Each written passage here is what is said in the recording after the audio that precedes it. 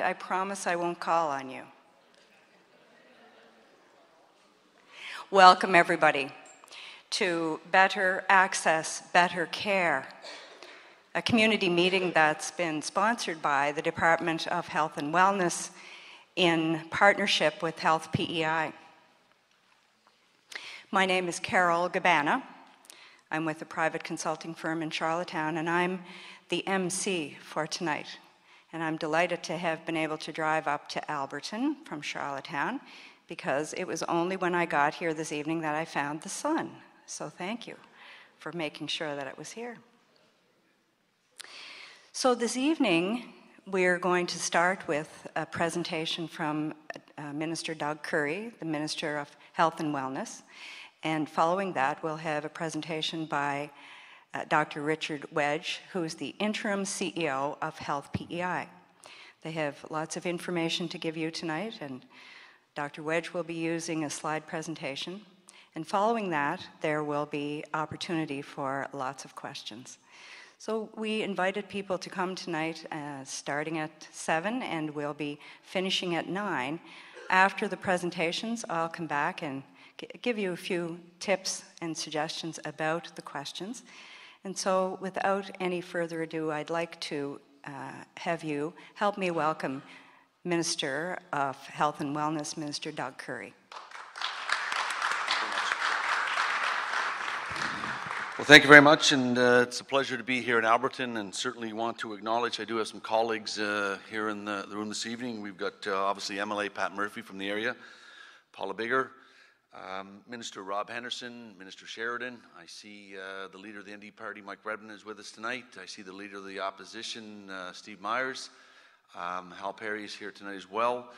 I uh, want to acknowledge, uh, I don't think I've, oh, uh, I think I've got everybody as far as elected. Anybody who did I miss? Sonny Gallant. Yes, Sonny. I didn't see Sonny come in, so um, also, would certainly like to acknowledge uh, all the staff from, from Health PEI uh, who, who are here and uh, certainly the great work that they do across our, our communities in Prince Edward Island. And uh, we're pretty fortunate to have uh, the dedicated professionals that we do have. Certainly, also want to acknowledge uh, some board members here tonight Dr. Donna Murnaghan, who's the chair of Health PEI, Phyllis Horn from Alberton is a board member, Jim Revel from Charlottetown, another board member and Rhonda Smallman, uh, who is from O'Leary, that is another board member. So certainly welcome uh, all of you, and certainly most importantly, it's great to see a great turnout here in the community.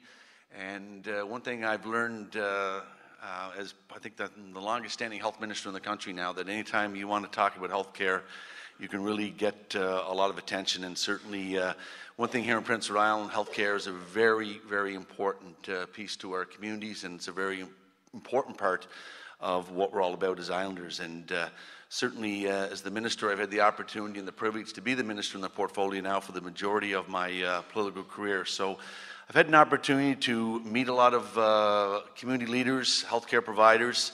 Had an opportunity to really get some uh, some real insight into the roots of healthcare and communities across Prince Edward Island, and, and really where where healthcare has been in this province and where we continue to evolve to.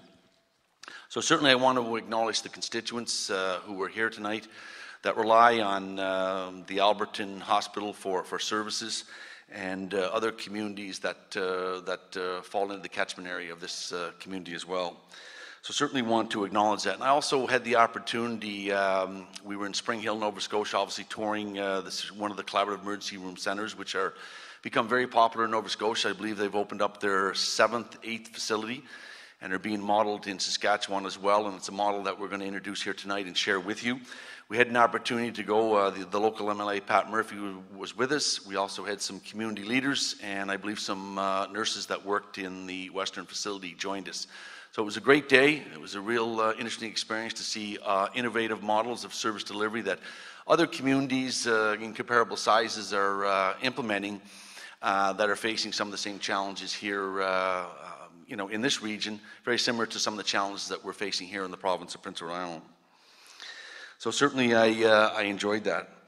Um, in respect to uh, some of the, some of the, couple things that I want to just comment on tonight is that I don't have a script and I'm not going to read from script. And some of the, um, the, the trends that our province is facing here in Prince Edward Island, that's trends that are no different than Charlottetown to Alberton to Tignish to Souris.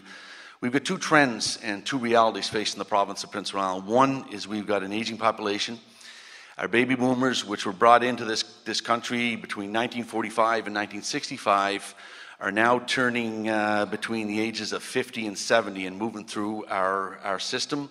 And obviously, if you look at the system and you look at the expansion of services, if you look at the volume of healthcare providers, you look at the growth of budgets, uh, there's, a, there's a correlation between the age of our population and the pressure that our, uh, our system is experiencing through that. So, certainly, uh, our aging population um, is a reality. Uh, one in five uh, people in our population will be over 65 by the time 2020 uh, arrives on our, our doorstep and also the number of people living with a level of chronic disease here in the province of Prince Edward Island. And chronic disease, if you look at the Chief Public Health Officer's report, which presented to Islanders uh, last uh, February, it shows some alarming statistics in respect to some of the challenges that we're facing as we try to manage uh, um, chronic disease uh, and try to basically keep people out of acute care facilities here in Prince Edward Island. So those are two real pressures uh, that we're being faced with. When I came in uh, to this portfolio as minister in 2007, our provincial healthcare budget was $360 million. This fiscal, we are moving close to $570 million, which is about a $200, $200 million increase in spending over uh, about a five year period. We have more doctors today in our system than we ever have. We have more nurses, more LPNs, more RCWs. We've expanded the scope of practice um, with our advanced care paramedics, our LPNs. So we're trying to utilize all the resources we have in our in our system to their full scope to make sure that we continue to provide uh, the best access to the best services that we possibly can provide. With that being said, as minister, I've learned uh, in my journey that healthcare is a very personal issue. It's a very emotional issue. It's an issue that touches uh, the lives of us all, whether it's a, a, neighbor, a parent, a family member. And uh, when you're the Minister of Healthcare, you really have the attention of approximately 146,000 uh, islanders because it really crosses the lives of everybody uh, in this province. So, my, uh, my job and my mandate as minister is to look at healthcare from a provincial lens, but also to try to find the balance between healthcare in the province and what's important and what is um, uh, doable in communities across Prince Edward Island.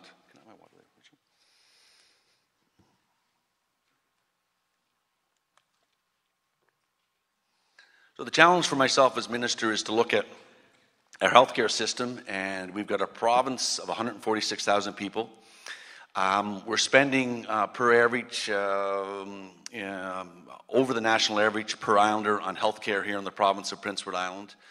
So basically, one of the things that I, I, see here in the province is I see assets, and I see assets in our community hospitals. We've got five community hospitals, as you know. We've got uh, the Prince County Hospital, we've got the QEH, which is our two larger 24 uh, 7 referral facilities. We also have our provincial addiction facility in Mount Herbert, and we also have our acute mental uh, hospital in Hillsborough. So we've got uh, nine facilities that provide healthcare service for Islanders every day. Today, at the Prince County Hospital and the Queen Elizabeth Hospital, we're providing services to approximately 1,000 Islanders in those two facilities from tip to tip all across the province. I see our community hospitals as being assets, but also at the same time, as minister, I see the challenge how do we continue to evolve our system forward to respond to the demands and the pressures that we're currently under? And that's a challenge. Uh, it's, a, it's, a, it's a real issue uh, for myself. We continue to look at ways that we can uh, provide better access and expand the, the opportunities for better care. So, certainly, um, it's, a, it's a challenge. And one of the things we rolled out last, uh, last spring in the Speech from the Throne you know, after looking at uh, the investments we made in healthcare providers and operational spending and the money we spent on infrastructure, uh, across the province, uh, we shifted our focus back to the patient.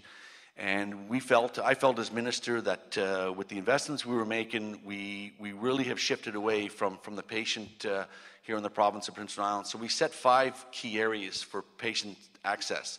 One, obviously, was better access to physicians, better access to long-term care, better access to elective surgeries, because here in the province, I think we're performing last in the country uh, in areas of elective surgery, particularly in hips and knees. We're performing well with cataract surgery and radiation therapy, but that's one particular area that we're not performing very well. And with that being said, we've increased the number of procedures that we've provided here in the province to Islanders, but at the same time, with the demographics and the population, we're, we're falling behind.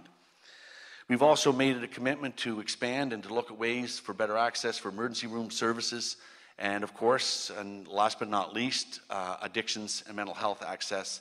And we'll be rolling out our, uh, our, our, plan and our report uh, this spring uh, to Islanders to look at ways that we can continue to improve access and ways that we can be better served in the whole area of mental health and addictions. So, here in the province of Prince Edward Island, um, if you look at publicly funded Medicare, I'm not going to spend a lot of time, but publicly funded Medicare is something that separates this country from the rest of countries around the world. It's free, and we as a province, we have a $570 million budget. We also have, uh, included in that $570 million, we've got a $50 million budget. Basically, we have a, we have a healthcare facility outside the province. Any given year, we've got approximately 25,000 islanders that are requiring services outside the province of Prince Edward Island for some type of care. That could be at the QE2, that could be uh, at the IWK, that could be in surgery services, in uh, particularly in cardi- cardiac care at the Saint John Hospital, or uh, types of uh, neurosurgery that are uh, held in in Moncton. So we ba- basically uh, we don't do all services here in the province of Prince Edward Island, but we do have an out of province budget and uh, provide services to islanders when they need them uh, outside uh, the uh, the communities. So. With that being said, uh, tonight really is an opportunity for you to have your voice and to ask questions. Um, to, I'm here to listen.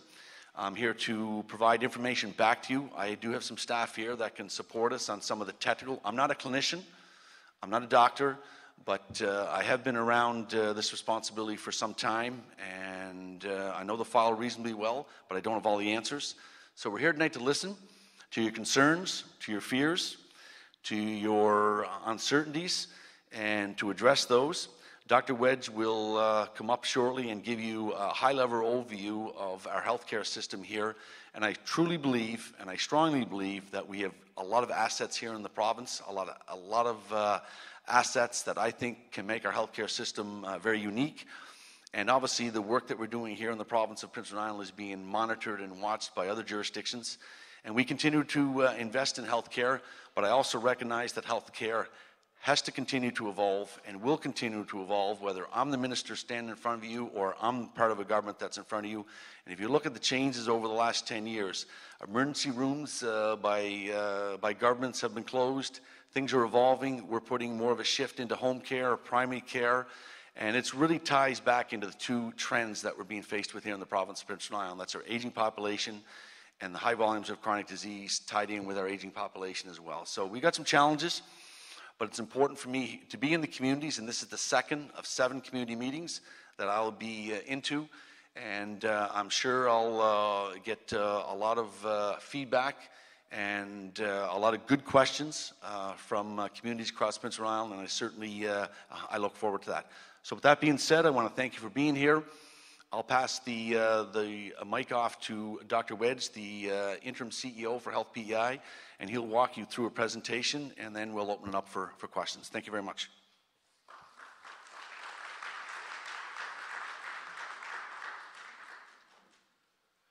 Okay, uh, thanks very much, uh, Minister. So I have a, a, series of slides to go through just to kind of outline how uh, Health PEI is going to uh, implement the government's uh, new direction in the provincial health plan. I'd also like to acknowledge uh, some of the staff that are on the side uh, who have a number of posters around uh, long-term care, extended care, primary care, and emergency care. So uh, hopefully after the meeting, people will be able to go by and, and see what sort of services are being offered with various, with various services. So as the minister said, uh, we have a number of uh, facilities on PEI, or, or eight hospital facilities throughout the throughout the island, as well as about 35 other clinic facilities that we operate across PEI, and we we find all of them are, are of some value in, in different areas uh, for different services across the island. Uh, people may have seen this uh, particular ad, so I won't go into it uh, in, in, much detail, but it's been in the paper uh, basically outlining the, the, types of facilities that we're talking about tonight acute care facilities, extended care facilities, as well as uh, services such as home care and uh, primary care. So there's a lot of confusion out there about what exactly is uh, acute care, what is extended care. Acute care we're looking at is people who are, have fairly severe uh, illnesses. Most of them do require the service of a specialist, um, and most of that uh, care is provided through an emergency room and then admission to a, to a hospital. But uh, right now, acute care uh, does occur in a number of other hospitals, including Souris and O'Leary. Extended care is another one that's been very confusing uh, in the media. People are looking at extended care as if it's uh, a manor, but extended care is not manor care. I want to make, uh, make sure everybody understands that. With extended care, people still need the services of a hospital. They still need 24 hour nursing. They still need the services of a physician to come by once or twice a day to supervise that care. So that's um, it, it's not a manor care. A manor is obviously a, a, a home where people who are no longer live, uh, able to live independently in their own home. Extended care is different. So we're looking at restorative care for people that are recovering post, uh, post-stroke. We're looking at convalescent care for people that are, have mobility problems uh, following surgery or perhaps uh, have a post-op infection. We're looking at palliative care for people at the end of life uh, for their care. We're looking at respite care for families to be able to uh, look after people at home and have some, some break if they need to take a few weeks off.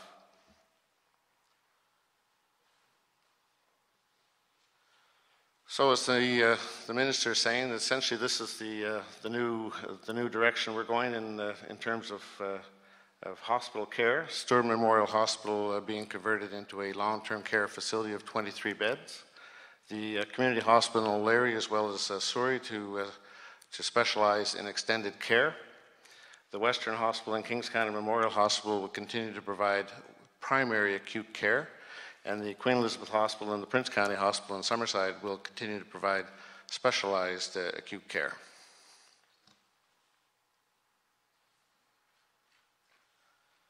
This is a, uh, a bit of a, a, schematic diagram to try and indicate to people where acute care is currently happening in West Prince. As you can see, the, uh, the green, um, the green, the purple, and the blue is essentially uh, Prince County Hospital, the Queen Elizabeth Hospital, and Western Hospital. The orange and the red are uh, care that is occurring at Stewart Memorial and O'Leary Hospital. So about 86% of acute care is now happening in um, Western Hospital, Prince County Hospital mainly, but also some people at the Queen Elizabeth Hospital.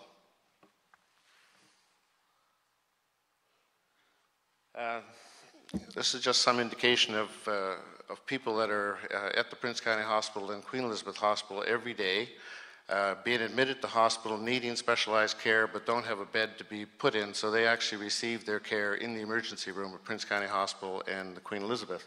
So as you can see, there's roughly 12 people a day that are in the emergency department of the Queen Elizabeth Hospital receiving care, and about two to three people a day in the Prince County Hospital receiving care. And this is one of the reasons why they have to receive care in the, in the, in the emergency department. These are uh, people in Queen Elizabeth Hospital as well as the Prince County Hospital who have finished their acute stay and yet have no place to go, so they're occupying an acute care bed. So as you can see, the blue bars being Queen Elizabeth Hospital, roughly 12 people a day, uh, 12 people, uh, roughly 25 people a day are in the Queen Elizabeth Hospital, but don't actually need the care of uh, the the uh, medical team at the Queen Elizabeth Hospital, and about 11 people a day are in the Prince County Hospital and could be moved somewhere else. So obviously, if they were moved to a, a different facility that could care for them in an appropriate manner with the right staff, the people wouldn't be in the emergency department uh, receiving care.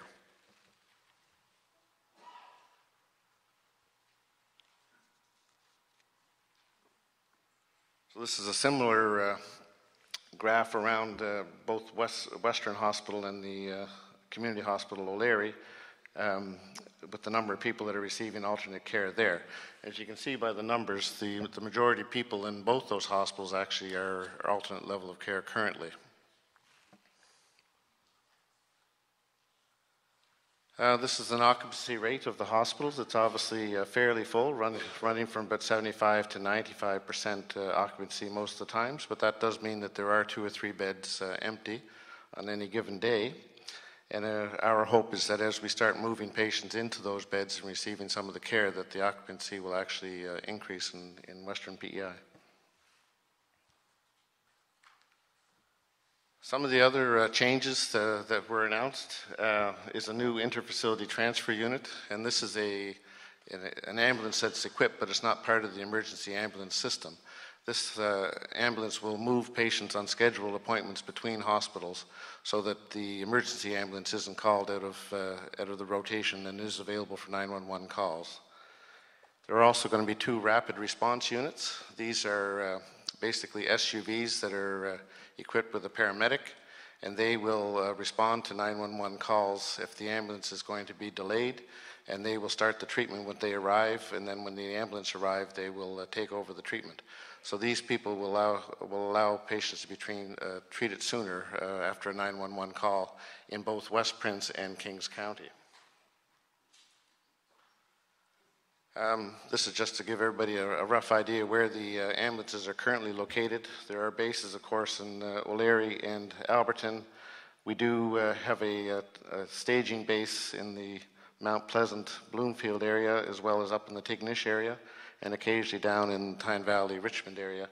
And this is usually when a, a couple of the ambulances are, are, out on calls, they try and spread them out in order to be able to make a faster response in West Prince. There's been a lot in the media about uh, wait times at Prince County Hospital. Uh, this is a slide to show that, that basically the, the blue lines are the people that are there for what we call true emergencies, people who are unconscious, people who are severely short of breath, severe chest pain, uh, prolonged seizures, those sort of true emergencies. And the uh, red lines are the um, patients who are there that could be seen in a family doctor's office. But in fairness, a lot of times this is after hours or weekends or holiday time that's, that's there. So as you can see, the, uh, it's about 90 minutes uh, response time uh, between the time they arrive at the hospital and, and a doctor sees them for true emergencies and about two hours and, and a bit for the, uh, for the non. So that's, uh, that's the, the monthly stats for Prince County Hospital.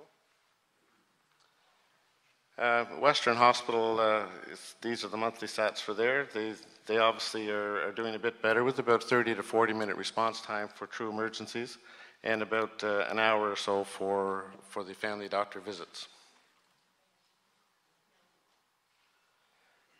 Here's a, uh, a, stats around, around emergency department visits.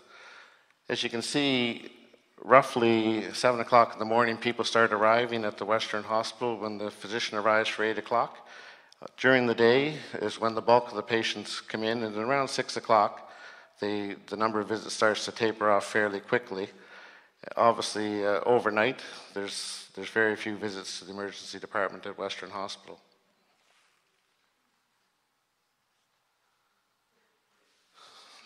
It's another um, uh, slide around point. Okay, so the um, these are five levels of emergency. The, the, levels one, two, and three, which are true emergencies. You can see that these are make up the smaller number at Western Hospital. The level fours, which are family doctor visits, are the bulk of the visits at Western Hospital. And then, of course, there are some what we would call elective visits. These are people who uh, presumably don't have a family doctor or they need a prescription refill, but they're coming and using the emergency room for that.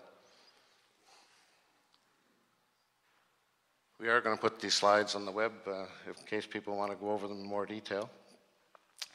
So, um, the, as the minister was saying, the, the plan is to have a, a collaborative emergency center based out of the Western Hospital. And with that, the physician will be available just as it is now, as the physician is now, from 8 o'clock in the morning to 8 o'clock at night, alongside an emergency department nurse, the same as it is now. But at 8 o'clock, uh, the staffing would change to a, a, a, different mix. It could be one of a number of different mixes, uh, an RN RN model or an RN paramedic model, similar to what goes on in Nova Scotia. And these uh, two health professionals will be available for the, uh, from 8 p.m. at night till 8 in the morning uh, for anybody that comes in with a health concern. And they will help them sort through that concern, whether it's uh, help them into an emergency uh, vehicle to transfer to Prince County Hospital, or whether it's to um, um, provide some treatment for them uh, that night to come back and see the doctor the next day, or actually provide treatment and they don't need to come back, depending on the situation. Um, the final initiative uh, announced was an 811 telehealth uh, uh, line that people can call 24 hours a day, 365 days of the year, and speak to a, uh, a nurse at the other end and kind of work through whatever that health concern may be and uh, try and get some advice. So that'll be available in multiple languages as well. So there's been uh, a few examples either by uh, email or through uh, people phoning into our, our, offices, some letters to the editor. You know, for example, uh, one is a 94-year-old uh, female that was sent home at midnight because there was no bed available at Prince County Hospital. On four occasions over the next four months, uh, she spent some time on a stretcher in the emergency room, never did actually get admitted to the hospital for care.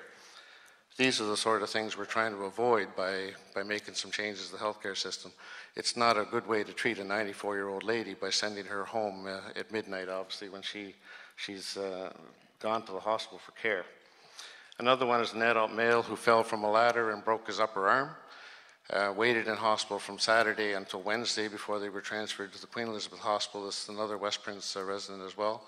Transferred to the uh, Queen Elizabeth Hospital for definitive care and a, and a plate put in his arm five days later because there was no bed available at the Queen Elizabeth Hospital to admit him.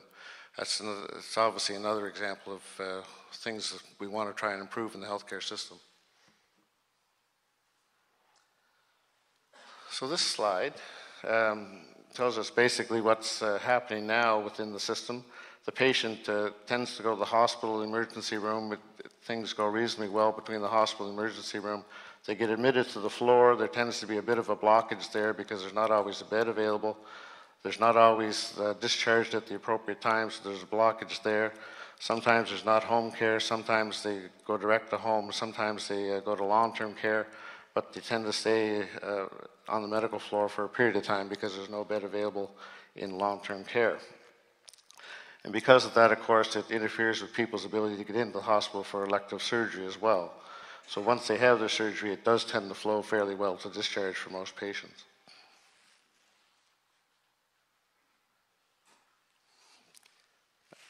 So this one is the, uh, the new plan that we want people to be able to go to the hospital, be seen quickly in the emergency department, admitted if necessary to a medical floor, and discharged appropriately. We need people to come into the hospital, go for elective surgery, and discharge appropriately as well. And we want to make, be able to make sure that they can go to uh, either to home, to an extended care hospital, to long-term care, um, and then receive their treatment. So in summary, uh, for Western Hospital, because we're here in the Alberton area, we wanted to reiterate that the lab and x-ray services are going to remain uh, at the Western Hospital, that it will become the acute care center for West Prince, there will be a rapid response unit in the area, the emergency department service will have a physician available from 8 a.m. to 8 p.m. and a collaborative emergency center from 8 uh, p.m. to 8 a.m. There will be improved uh, access to primary care because the physicians now who work the overnight shift aren't working the next day in their office, so they're not available to see patients. And there will be an 811 telehealth uh, number available. Um, just a reminder of some folks about primary care in West Prince. Um, I'm not sure if everybody is aware, but um, PEI has been divided into five primary care networks, the West Prince, East Prince. There are two in the Queens County area and one in the Kings County area. So the West Prince uh, Primary Care Network, we anticipate there will be about 7,500 more primary care uh, appointments uh, available to, to patients to be able to see the doctors in their office in West Prince. Um, we're currently recruiting two nurse practitioners to the West Prince area, and hopefully will happen this summer. And then we have a number of uh, enhanced chronic disease um, management strategies in place for uh, lung disease, uh, people with blood thinners, diabetes, and uh, mental health issues. And we've uh, set up outreach programs in Tignish and Lennox Island. So in summary, that's uh, some of the service improvements that we uh, hope to take effect over the next few months, and um, we're going to be listening to uh, to what the people of West Prince think of think of those changes. So I'm going to leave that uh, summary slide up there too, just in case people uh, have some questions about it. So thank you very much.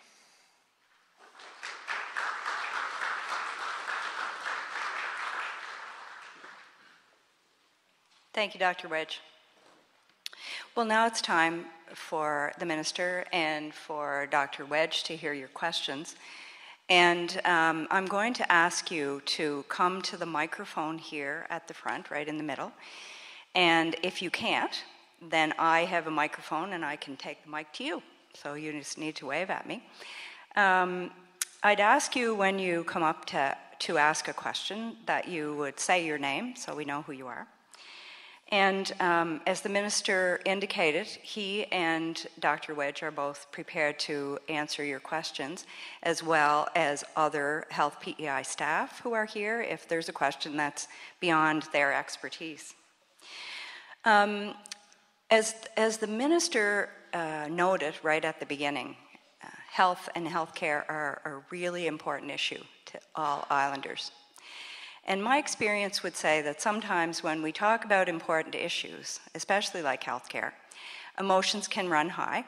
And I'm going to ask us, just to remind us all to be really respectful in our conversations tonight. And one of the ways that we can do that is just to take note if there are lots of people lined up to ask questions. So just kind of monitor how long you're at the microphone so that we can make sure that all the questions that we can answer tonight before our 9 o'clock, that there is time for that. So I invite um, questions now, and please just come to the microphone at the front.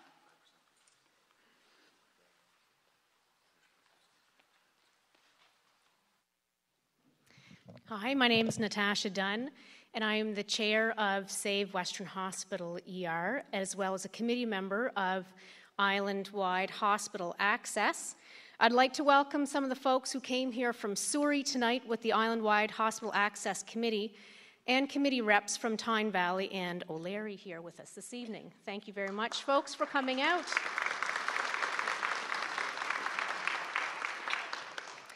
Minister Currie, I would like to thank you for coming to Alberton to deliver your government's plan for Western Hospital, but it's a little too late. Over a thousand people in West Prince signed a petition to keep the ER open 24 7 with physician coverage. Your government failed its own people by implementing changes without community consultation. You have already made your decision. So, Minister Currie, why are you here now? Why not just put it in a press release like you already did? Are you here to pat our heads and say, there, there, everything's going to be okay? Much like what was done in O'Leary. And then two weeks later, your government slashed services at O'Leary Hospital.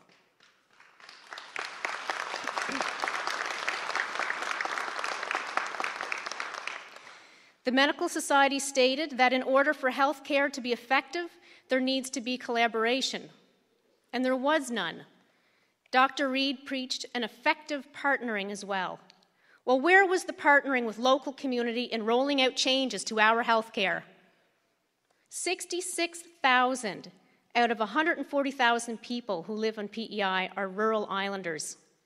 But less than 5% of the health budget is spent on rural hospitals. We realize that health care with an aging population is an expense on the taxpayer. But we are the taxpayers.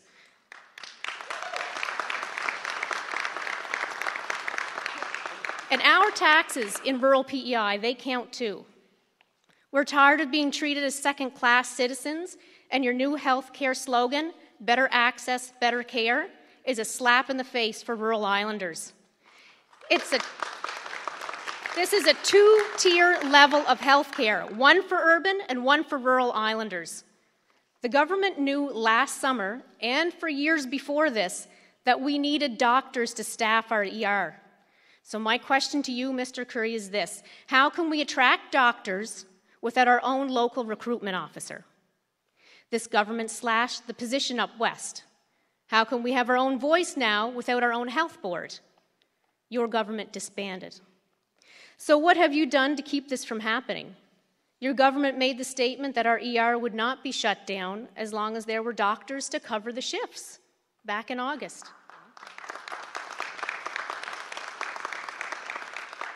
So, what have you done since then to try to find doctors and recruit them to keep our ER open? What have you done? Well, I can answer you for I can answer that and the answer is nothing. Can you tell the good people of West Prince as to why Dr. Charles's billing number will not be replaced? that his number has been retired and now we'll, we will have even fewer doctors for West Prince. Doctors who want to do ER have been told not to. Makes it sound like the government is sabotaging its own system to make it fail, sabotaging the health of its own people. Dr. Desmond Colohan's article today about the fi- fictional grandmother who used an acute care bed instead of being sent to long term care. Well, we know this happens, but it's only going to get worse without a physician at Western. Patients who receive care in their own communities have much needed family support, and it's proven that driving for health care, such as dialysis, can be de- detrimental to a patient's care. Dr. Wedge and Minister Currie have not guaranteed us the highest skill level of healthcare professional that will staff the CEC. And can these people admit to Western Hospital? Currently, there are five nurse practitioner openings on the island, and yet we're going to have to fill another two more? So, Minister Currie, who actually makes these decisions? You or Health PEI? There's no use in complaining without offering a solution. So here is a solution to work towards keeping our ER open. Hire a local recruitment officer who's not appointed, give the people give the power back to the people, let us have our own local committee because we will do the work. Thank you very much.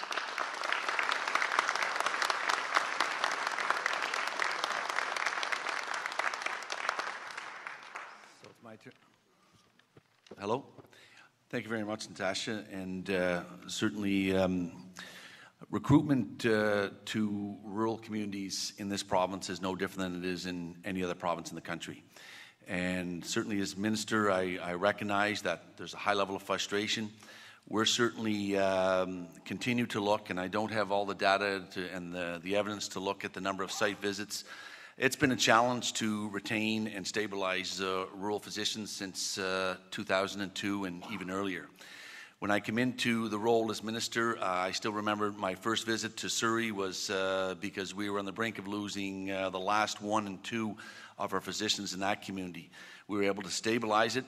Since uh, since that time, we've we've we've had the opportunity to implement the residency program. Last year, Five of the graduating resident students that uh, are from all other the province have chosen to stay here in the province of Prince Edward Island. We basically have a complement of 233 physicians today, more, more physicians uh, um, than we've ever have. But the challenge is, is that uh, we've put incentives on the table. We have rural recruitment initiatives. We recently rolled out before Christmas. We offered uh, family residency students uh, a check basically for $110,000 for a five year uh, commitment to uh, rural communities in Prince Edward Island. We have just presented that uh, initiative to uh, commu- med students. And we're in conversations right now. I mean, we're looking at every every opportunity to continue to stabilize services, particularly via physicians. And if you look at the CEC implementation in Springhill, very similar scenario to what we've experienced in, in uh, rural communities here. And basically, physicians are choosing to not work in emergency rooms. They're not trained emergency room physicians, and they are making the choice. They want to work in collaborative um, models of care, they want to work in primary care. Uh, they're making that choice. And when we start, I know uh, I'm in uh, ongoing discussions with recruitment. Uh, when we start getting into the discussion about uh, there's opportunities to work in emergency rooms, uh, physicians are choosing to steer away to other opportunities. Um, if you look at the model, the CEC model in Springhill uh, and other communities that it's been implemented in, um, the model is working, and it's it's a new model of service delivery. If you look at the volumes and the acuities that are, are coming into uh, the emergency rooms, um, doctors are, are, are, choosing. If you look at Montague, the, the overnight, the physicians chose not to work in the emergency room based on the fact that there was no volume and no acuity. As a result of choosing not to work in the emergency room, it expanded the number of uh, physician appointment times during the day by over 7,000.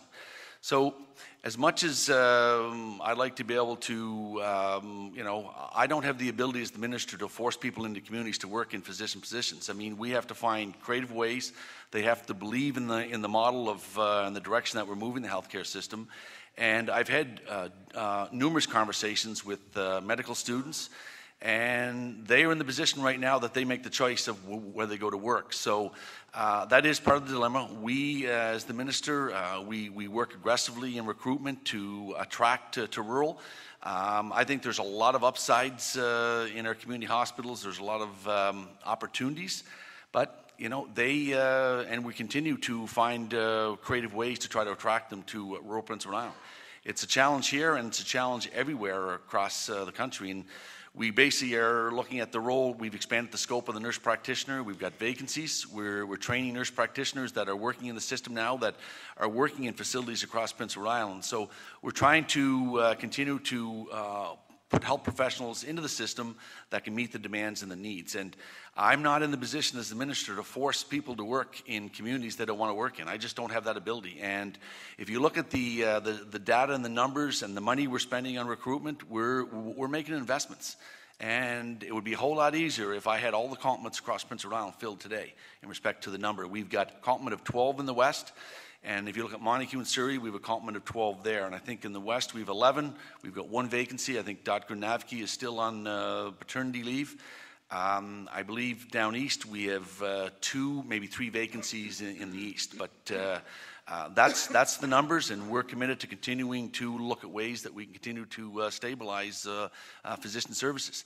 There's been a high volume of physicians in the West retire, and uh, if you look at uh, the Dr. Zettys of the world, physicians uh, of the day don't work like they did. It's a different it's a different mindset, and the new family physician coming out is more interested in work-life balance than uh, high volumes of uh, patient loads. So it's a bit of a challenge. There's no question, but uh, certainly government has continued to be committed. The residency program will has and will prove to be a, a, a positive investment.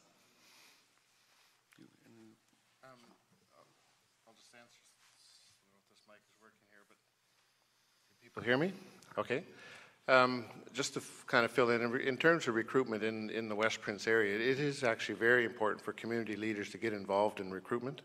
Um, when site visits are here, they, they do um, go on tours of the area. They need to know about what's the advantages to working in the area. They need to work with all the physicians that are there. They need to have a, a the physicians have some consensus about what they need need them to do and what their role are going to be in the community. So it is, it is very important for the community to get involved.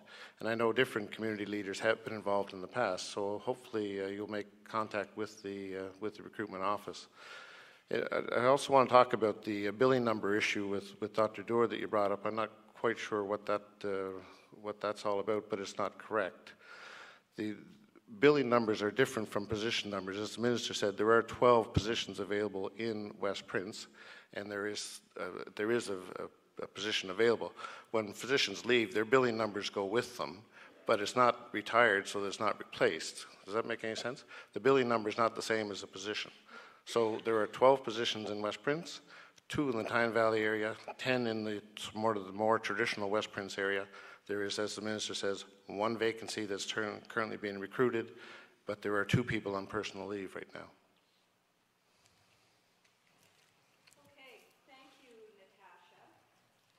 Yeah, thank you, Natasha. And I think there's like one, yes.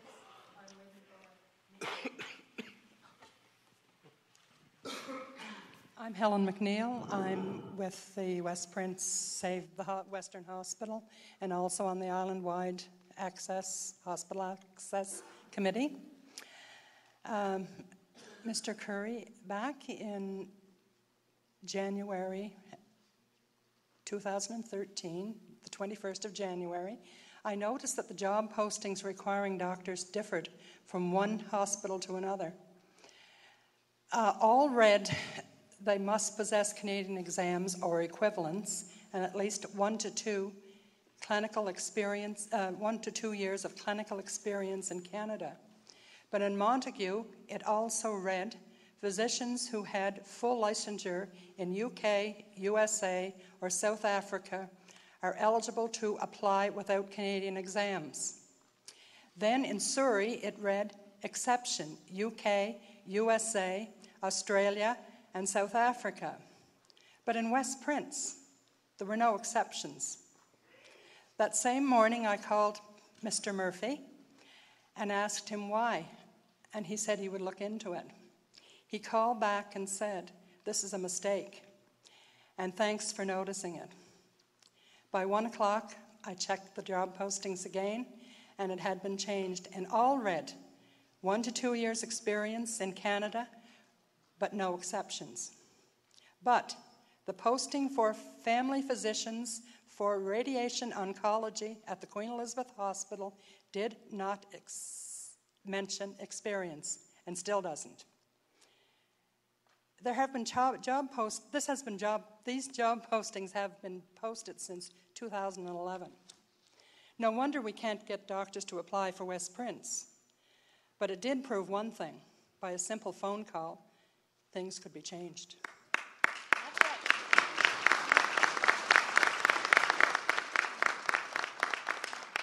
Other provinces in Canada, job postings state no experience required. Mr. Henderson asked me why do people in West Prince think that they are so special? Well, with one to two year experience required for doctors, what is so special about PEI in comparison to the rest of Canada? We don't need brain surgeons for family physicians.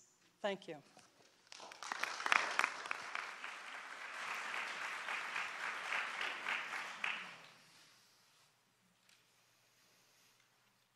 Just a response to that. I mean, I, I can't speak specifically about uh, the job postings, but uh, certainly as the minister, I've been working, and we're working very um, consistently with the, the College of Physicians here in the province of Prince They have the, uh, the, the authority and responsibility.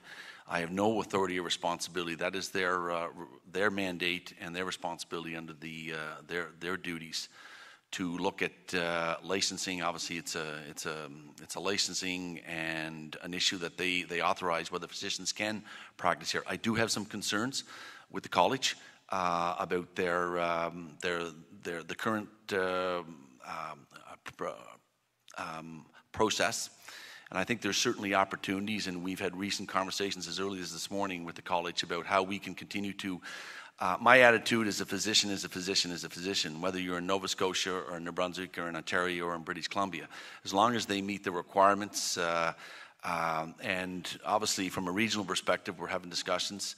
Um, I know that there is instances where physicians uh, who got uh, licensed and were granted privileges in Nova Scotia applied here to the province and were denied license under the college. So we're certainly working very aggressively, um, and I'm very interested in looking at uh, potential opportunities um, in ways that we can, uh, you know, get in line, I guess, with some of the l- l- licensing timelines uh, that other jurisdictions are implementing.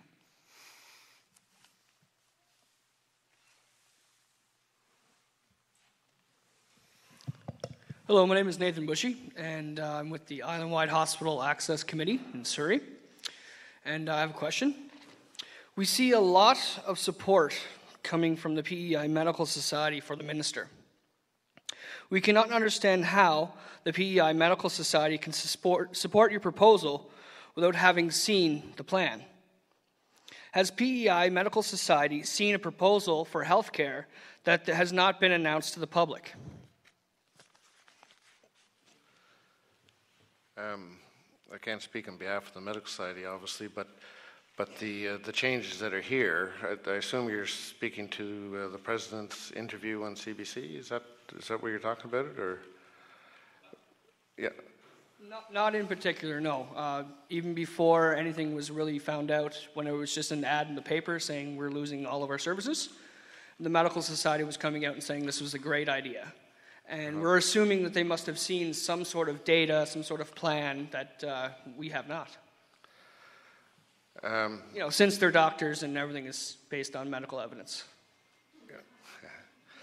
The, um, uh, certainly, we did talk to the medical society as well as the, the nursing union, a number of people uh, the day of the announcement to kind of describe some of the changes that are there.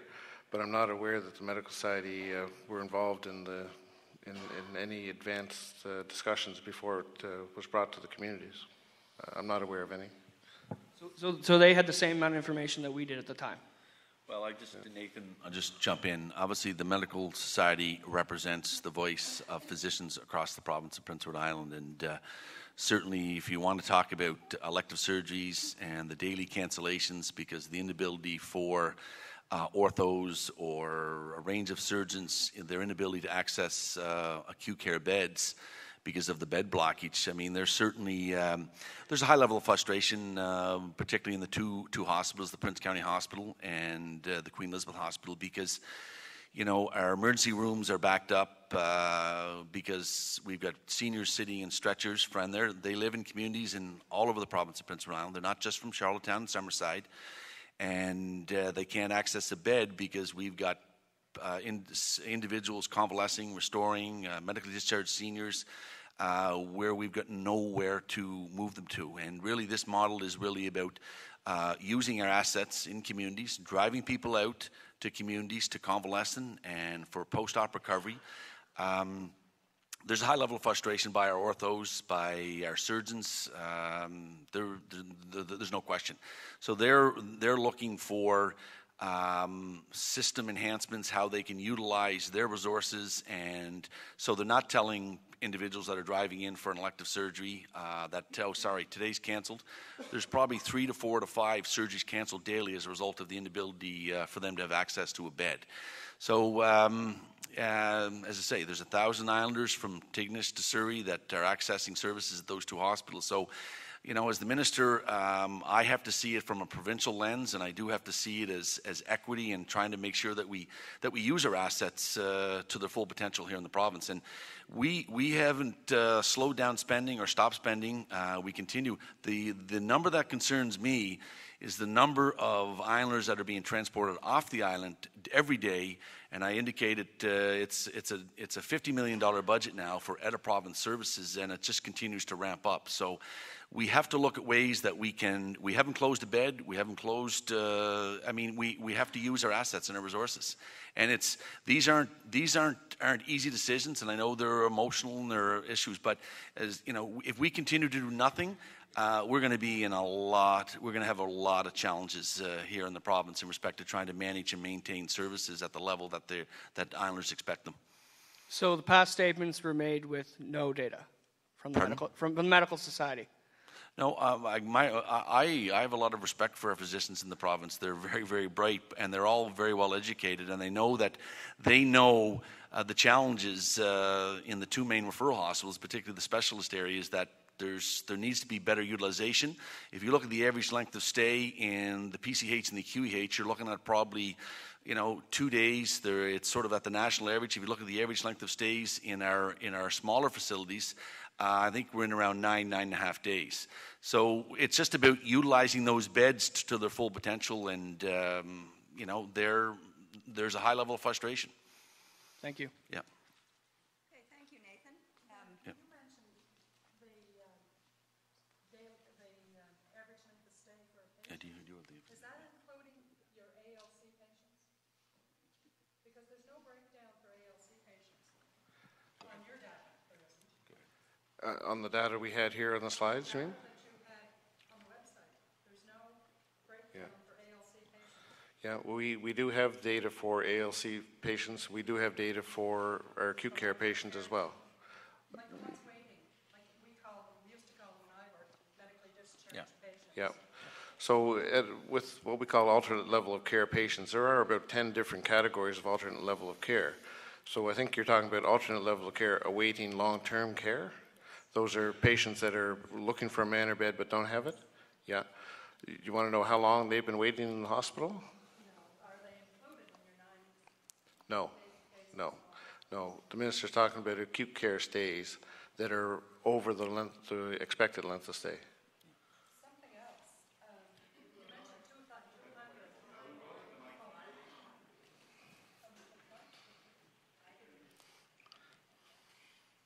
You mentioned 200 phys- plus physicians.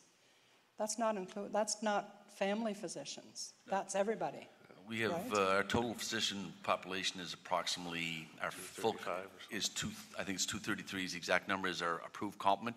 I think we have approximately 225. We have some vacancies in family medicine, obviously in the rural areas, and we've got a couple vacancies uh, in oncology. We've just announced that we will be adding a seventh surgeon to, uh, to, to the province. Uh, So I think those are the numbers that we're, we're, we're dealing with. Okay. Something else when, on the uh, stats that you put up there with the evenings um, after 6 p.m., that the graph falls quite low. I think you better go over and sit over at Western Hospital in the evening, well into 11 o'clock at night, and you will see that it doesn't fall at 6 o'clock, it increases. That data, where's that data come from? That's accurate data, but it's, that's individual days or individual days, Oh, yeah, okay, yeah, yeah. but it's true data. My name is Don Humphrey. I come from Souris. I- Can everybody hear me without the microphone? mic up there so we can hear. And would they mind standing up on their head so we can see? Yeah. Them up there instead of hiding. All right. Do that to somebody else. Perfect. A few of us to support you fellows. Um, Well, we, we all know that health is at, always on a dilemma because we can always do more people, more things for people. Things we can do now, we couldn't do 20 years ago. So we're always going to need more beds. So my question is, what is the sense of taking five acute care beds out of Souris or so many acute care beds out of Alberton or, or Leary, putting them into Charlottetown, and then what are you going to do for the people who need acute care beds in O'Leary and Souris? Send them to Charlottetown. And instead of getting into the hospital in one hour, they're going to wait six or eight hours in ER and then maybe on a stretcher and waiting for something in, in, uh, in Charlottetown or Prince County and uh, keeping their families on tenterhooks. So, I don't see the math. It's a zero sum. But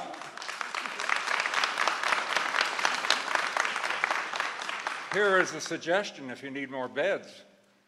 All those hospital beds, like in it went down from 22 to 17 active beds, and then were filled uh, with office workers, desk pilots, I call them. Why not? Why not reactivate those beds? And I'm sure there's more at Prince County and the hospitals up west. Just get rid of those pencil pushers and people who can't leave their desk without a piece of paper to make themselves look important, like they're doing something, and reactivate those beds. Why can't you do that?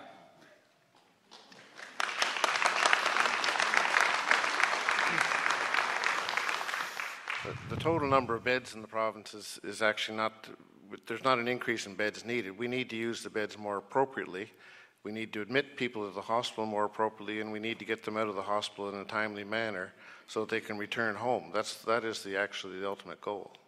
It's not, it's not the number of beds. So adding more beds, you're right, we'll, we'll, uh, we'll put more people in beds, but that's not getting to the point of, of making sure they're, they're in the hospital appropriately and they go home at the appropriate time. That kind of was part of my question. I, I'm actually the lady that two of the stats up there about the grandmother that was four times admitted into Prince County, sat for hours on an emergency bed. I also was the proclaimed husband that broke his arm and spent six days in Prince County Hospital because I refused for a doctor to send me home that night with a morphine tablet. Now, I should have probably went out and got a bat and said, Here, use this, because that's the amount of care that you're considering right now. In saying that, I don't proclaim to be an accountant, but I did find out in that time period there were several people waiting for surgeries. And yes, that is a big issue. But I did find out there's 100 people at that time occupying beds waiting for long term care facilities. I'm sitting here knowing full knowledge. A facility was built in this brand new long term care facility in Alberton, another one in Summerside, with not one extra bed, let alone take a chapel away from a manor here. When people are dying, it. When I found out the math, and I said, okay, well, maybe there was a money to build extra bigger buildings. When you talk a $1,250 stay per day in a hospital bed versus a $250 stay per day in a manor, which I did ask Mr. Henderson, Danae Moran, am I being illogical with that, those figures? No, that's an approximately, probably accurate. That's $1,000 a day. That's 100 people. That's $100,000 a day. $3 million a month. And we, if you want to solve the problems, get those long term care people into manors, build bigger manors. What was, I guess the question is, we are, we know it's not rocket science to figure out that baby boomers are going to come. The problem is, we go in with a four year plan to get reelected. We don't look at 20 years or 10 years. What you need to do is explain to me when you made the decision to build new facilities and replace them, why did you not increase the number of manor beds, knowing full well we were heading in this direction with long term care?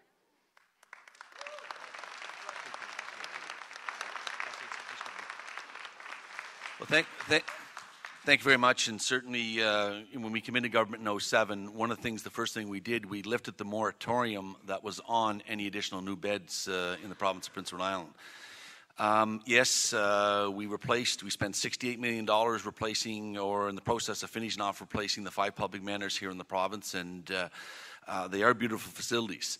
Uh, we, at that time, made a decision that all the new uh, beds that would be added to the system would be added to the private sector. And uh, in our first mandate, I believe it was approximately uh, 80 new beds that were added to the system. And we're responding. There will be an announcement this week that we're adding another 60 to 70 more long term care beds. So with that being said, uh, we've doubled the home care budget because uh, seniors are saying that they want to be home in the last years of their life. They don't want to be in, in long term care facilities. We went from a $9 million budget to a $20 million budget in five years. Um, we also um, are looking at uh, ways to continue to provide interventions to keep seniors in their homes. That's where they want to be. We did not add additional beds in the public sector. Everything is and uh, will continue to go to the private sector um, to uh, operate those beds. So we are adding beds, but we also have to look at. At the number of long term care beds we have per capita in the province in comparison to the rest of jurisdictions. I know that there is uh, wait times here. I think there's a, probably a list of approximately 100 uh, seniors in the province. Uh, I know that uh, in larger province, it's, um, it's, it's a real issue. But at the same time, uh, we are institutionalizing our seniors at a very, very fast rate. And I fundamentally, as the minister, have a concern with that. I'm very interested in looking at balance between the number of beds we add and also the investments we make in home care to keep seniors in their homes. And we also are looking at supports to look at new creative incentives. We're looking at other provinces, what they're doing to keep seniors at home, besides putting them into a long term care bed. So I'm just, uh, but I appreciate your comment.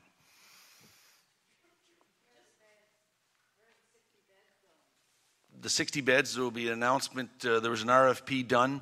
Uh, basically, what we did in our first mandate, uh, a lot of the private operators had space. For example, if you look at Andrews in Summerside, uh, they were given 10 beds, they had room to take 10. Uh, so that's how uh, they were distributed. But uh, right now, uh, any new additions, uh, any new beds went out to an RFP. There's a high volume of interest in the private sector, whether it be Andrews in Summerside or Andrews in Charlottetown or whether it be the Atlantic Baptist. These beds will be announced within the next few weeks. The, apparently, the tender has been closed and the beds will be awarded. Oh, yeah, sorry, sorry. Oh, O'Leary uh, has beds that. Belfast uh, has beds, O'Leary has beds. I, I don't have the exact numbers right now, but there is beds uh, that have been distributed in, in O'Leary, for example, in, uh, in, in their facility. There's, um, there's beds have, have been distributed in, at various places across uh, the province. Just before you ask your question, um, there's a couple of things. One is, if you do have a question, just ask me for the mic, because I know that from here or from here, the minister can hear, but all the other people can't really hear the question. So that would be great. And the other thing is, Minister and, and Richard, I'm wondering if it's possible when you're responding, if you could stand up. Um, because, because I can see you, but all those people can't either. Okay. Thank you very much. Yeah. Okay, uh, my name is Mike Redmond. I'm the uh, leader of the New Democratic Party of Prince Edward Island. And uh, first of all, I want to uh, say thank you to the community of Alberton for the for the showing here tonight. And I think it shows what an example uh, and what an important issue healthcare is to the people of Prince Edward Island. A couple points. I will I will commend you, Mr. Currie, on going to Nova Scotia to see how their healthcare system works over there, because that's uh, that's an NDP government over there. You should have taken the Minister of Finance with you, and, and they would have been able to show him how to balance a budget. Sorry, Wes, just too easy. A few comments and, and, and a couple questions, if I could. I, am a little concerned that, uh, and, and, I commend you in doing the, the mental health and addiction uh, uh, study. But I, I think the people of Prince Edward Island deserved a study on healthcare across the island before you did anything. And I think that's why we're here tonight, because of misinformation. And with misinformation becomes fear mongering and everything that goes with it. So when you don't allow the people or you don't engage communities, and communities, or, or, uh, people in Alberton, but also let's talk to the nurses. Let's talk to the frontline staff. These people are, are, working for us every day in the healthcare field, and they feel that you've left them out of the process, and I, and I think that has to be revisited. Um, I'm also con- thank you. And I understand the comments about an aging population, but this isn't new. Okay? This isn't new. This is your second term as government. This isn't new to the, the Conservative government before you. We knew we had an aging population. But there's other things that contribute here. One in four children in this province live in poverty. We have 17,000 people living below the poverty line, right? These are, these are major issues. We have the highest obesity rates in Canada. These are determinants to our healthcare system. How are we going to ensure that people live with a standard of dignity in life when we're not addressing these fundamental issues in our economy? And we're not an economy, we're a society. So when I think about what's happening on Prince Edward Island, the most important thing and a question needs to be answered, it needs to be answered by everybody in the room, is what do we want our society to look like? Are fisheries important? Is farming important? And tourism important? Because you know what? Those things don't occur in Charlottetown. Right?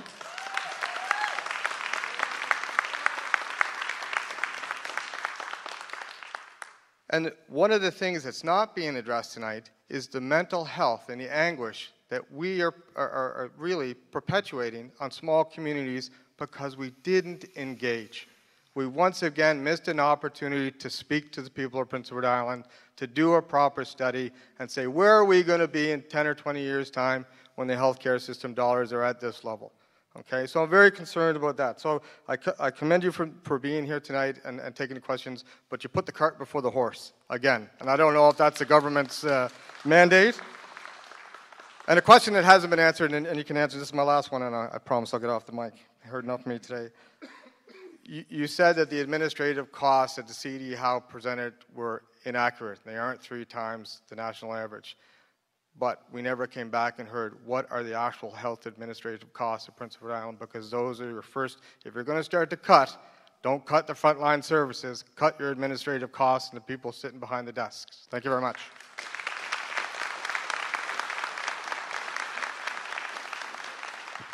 Thank you very much. Do I need a mic?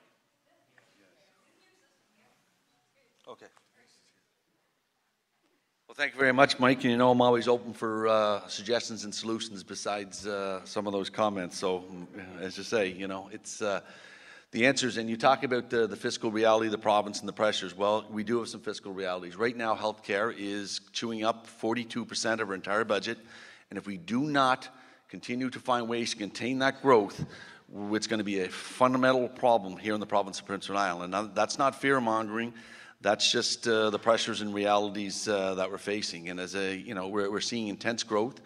Uh, obviously, the mental health and addictions report and review uh, that will roll out in the next few months will give us uh, some more clear direction in respect to that particular area. So, certainly a very important area. Um, but uh, lots of challenges. Um, as I said, I'm open for suggestions and solutions in respect to how we move forward. Healthcare is a very, very complex file. I don't think anybody would argue that. And the solutions are not easy. I've been around this uh, business now for a number of years, and um, it's not easy.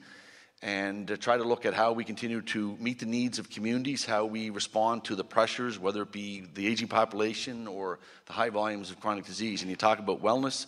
We'll be uh, rolling out a wellness strategy, but the department is working in communities, particularly in the western part of the province here with Go PEI. A lot of great initiatives going on uh, supporting support groups, uh, um, minor support groups as well. So uh, certainly so there's lots of positive going on, but uh, certainly lots of work to do. So. Okay, thank you, Mike. Um, who else has a question? Just, just one sec. Just one sec. I, I'm just, I just want to make sure that lots of people get a chance. So, who does? Is there anyone else? Right? Okay, go for it. I'm Phyllis Porter. Uh, I'm also on this ER committee as well as the, I, uh, the Island-wide committee. And um, I must say I'm very, very unhappy with what you're doing, Minister Currie. You have no concept of how you're hurting these small communities. Uh, they've worked so hard, so hard for each one of their own little hospitals. I know with our hospital, Western Hospital, uh, having worked there for quite a few years and uh, it is certainly very dear to me. Now, I don't like the idea you're blaming everything on us old folks. By God, there's a lot of young old folks today. So don't put all the blame, you know. You'd be surprised how many of us are out there walking and doing our thing. Now, the big concern I have as a nurse is this collaborative care. It scares me.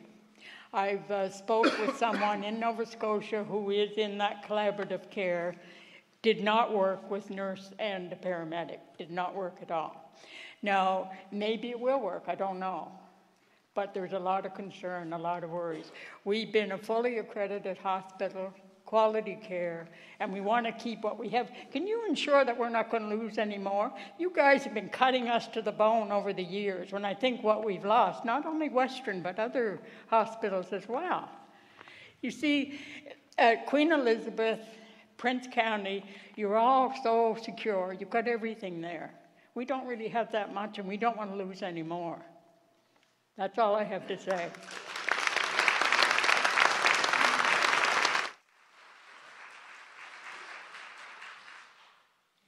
Well, thank you. And yes, and I, my mother is a senior, and she reminds me every day that uh, that uh, I shouldn't be talking about the seniors. So, but really, it's it's it's about just some of the realities that we're we're facing and, and the pressures, and that's not slowing down or going away. But this is really about trying to make sure that we we reevaluate how we're trying to maintain services in communities, and nothing's being closed. Um, we're not closing beds. We are trying to make sure that we have acute care services, particularly for individuals who are living in communities all over the province that need that uh, specialty emergency acute service uh, in our two larger facilities, but also making sure that, as I said to my mother, I said, Mom, if you have a, your hip done, you're spending two days at the QEH and you're going to be going to Souris, and we're going to have to go out and you're going to convalesce and restore and spend time in the community. That's the model that we're looking at. We're not driving people out of the communities, we're driving people into them, but we have to protect those acute care beds at our two facilities. I, as the minister, fundamentally cannot sit around and listen to the volume of stories. I get them every day seniors that are sitting on stretchers in hallways, uh, children with broken arms waiting for uh, beds elective surgeries being canceled. That is part of the realities that, uh, that I experience every day. And we, we have assets in our system, and we have to fully deploy those assets. And we also have to make sure that we have fully functioning services and that we can provide good quality service for islanders that need services out of the province of Prince Edward Island. And uh, today, we would have six ground ambulances uh, leaving the province at 10 hours a day Last year, we had 3,300 interprovincial, tra- interprovincial transfers from hospital to hospital. So it's just the, the pressures continue to, to rise in respect to how we manage the system. So doing nothing is not an option. And if this was about politics, I wouldn't be doing anything because I'd be more concerned about protecting my job. And that's not what I'm here to do. Uh, I have to do what's in the best interest of health equity from tip to tip for all Islanders. I, I plan to continue to live here. I will retire here and probably will be in a long term care bed somewhere at some point in time. I have two girls that I would like to see uh, stay in this province. But these changes are an evolution, and I know that governments come in, they close emergency rooms. I was part of that. The former administration had to deal with the emergency room in Souris, the emergency room in Tyne Valley. We were delivering babies in O'Leary 30 years ago. The system's evolving, and how do we as government continue to try to meet those pressures and demands, but continue to respond and make sure that we have good access, uh, appropriate services by the appropriate provider in the appropriate situation? So, thank you. Thank you, Phyllis. Think this lady, would you like to go there or do you want to use this? Okay. Uh, my name is Mulvina Darash. I'm from St. Felix, not too far from Tignish. And uh, Honourable Mr. Currie, uh, how can we call the new collaborative emergency care a safe 24 hour ER care to residents of West Prince? Let me give you an example. If when I present myself to our ER with a heart attack, and the RNs are unable to give me the medication called clot, clot buster, which will dissolve my clot and allow me to have little, if any, damage to my heart. I understand that at the present time, doctors are the only ones allowed to give this medication. Meanwhile, I must travel to Prince County Hospital during my critical hour, and as a result, have more damage to my heart muscle. Not to mention what heart rhythm I could present to them upon arrival. We deserve equal treatment, whether we live in rural or urban areas. Thank you.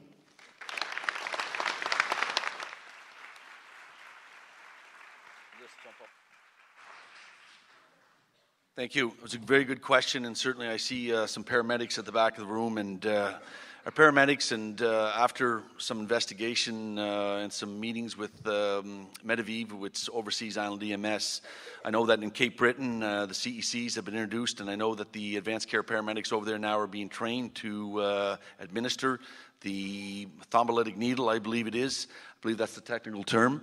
So the advanced care paramedic does have the skill sets, and uh, they're being fully deployed in other jurisdictions. So I think uh, as, as a province, we have the responsibility to look at, at uh, healthcare providers and continue to look at the role that they can play to continue to support. Um, right now, we know that we've had uh, interruptions in overnight services. The physicians are choosing not to work uh, in the emergency room here in Western. Uh, so we could continue. If we didn't explore any innovative options, if we didn't look at anything new, we would continue to see cancellations after cancellations because the physicians aren't choosing to work.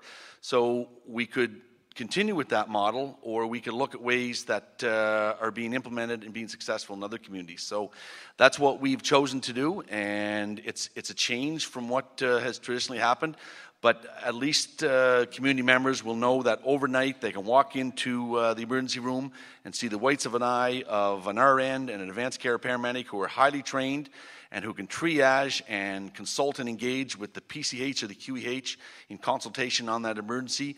And with the expansion of the rapid response vehicles and our ground ambulance fleet, uh, the golden hour I'm fully well aware of, and I'm not a clinician, but certainly uh, everything around emergency response services is built around that golden hour model. So thank you. Thank you, Malvina. Uh, Mike Murphy, Mayor of the town of Alberton. Um, thank you for allowing me time to speak. My council and I have arrived, and I apologize for our lateness. However, we did have other town business which had to be addressed. We are here as a team to, of course, express the interest in the services of Western Hospital. We have always been supportive of the services at Western Hospital.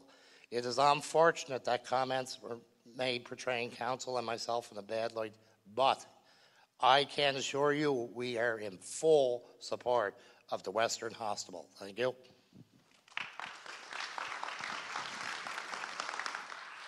I just, uh, a comment, uh, Mayor, I had a chat with him today, and uh, I knew that they were going to be late because of the council meeting, but I just want to make a comment that uh, the mayor and council, and I'll, uh, are, have been very engaged in the issue uh, and sharing their concerns with me as minister, and really have done a great job. And I think uh, part of the challenge is is sort of the you know looking at you know the direction we're going in, the pressures. Um, but uh, in fairness to council and the mayor, and and support my colleague Pat, we don't always agree. But uh, they've done a great job advocating, and they've made sure that uh, we continue to maintain good quality, accessible, safe services. And I do want to add uh, the comment around uh, uh, discussions back to um, um, Mike Redmond's comment. There was a survey that was rolled out to 62,000 households uh, across Prince Edward Island over the last year, and I believe the response from those um, uh, surveys were around 12,000 islanders responded to those surveys in respect to feedback. I know that we've done community assessments and surveys in communities, community needs assessments to look at what communities were looking for. So there was a survey done, a lot of good information back, and uh, really tied into looking at ways that we can provide better access, looking at ways that we can uh, the, expand the scope of the nurse practitioner. Islanders uh, understand that there is opportunities out there for other types of services, so we are listening to those surveys and we are uh, responding to them. So thanks. Thank you, Mayor.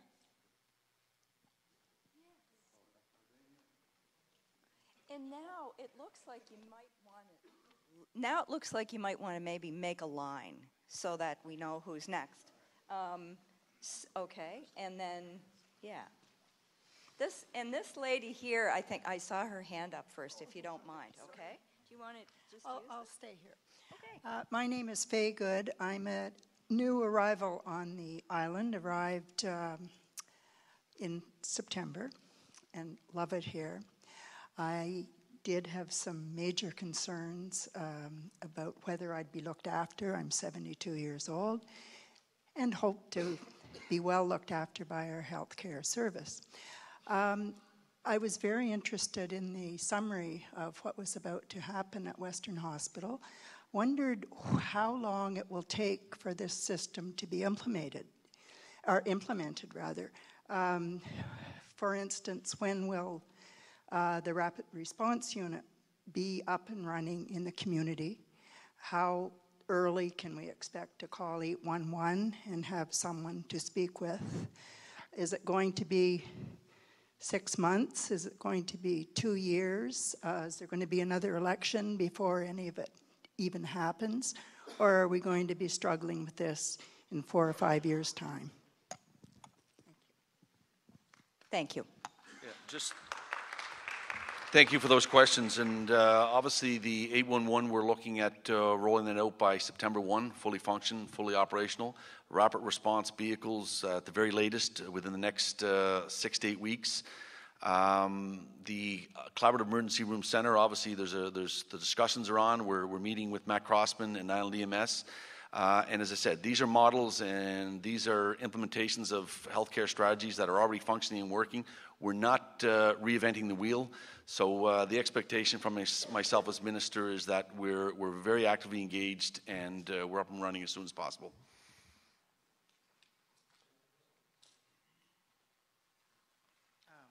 My name is Kathy Elward. Um, my question is, it- it's, it's a question and it's an expression of frustration. It just really, really seems, I mean, is this set in stone? Because if it is, the word collaborative, you know, is, is being very loosely used, if you ask me. I mean, we've got dirt piles in Borden that cost millions of dollars. We've got loans that are being wiped out for $8 million. You ask us about the HST, we say, no, no, don't want it. Well, you're getting it anyway. You ask us about changes DEI. All these things, it seems, are ma- people are making decisions, although we're telling you what we don't want. So I feel like a five year old has been spanked by my dad who's sitting there saying, This is hurting me more than it's hurting you. Because we really feel like we have absolutely no say i- in what's happening with our government and the huge decisions you people are making. So the question is is this an information session or do we have an opportunity to contribute? Thanks.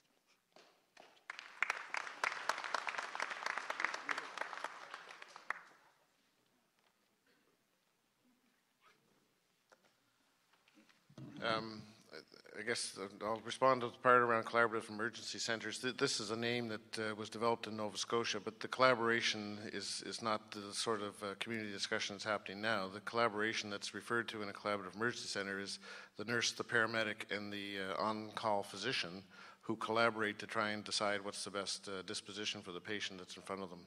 That, that's where that word comes from for, for that particular.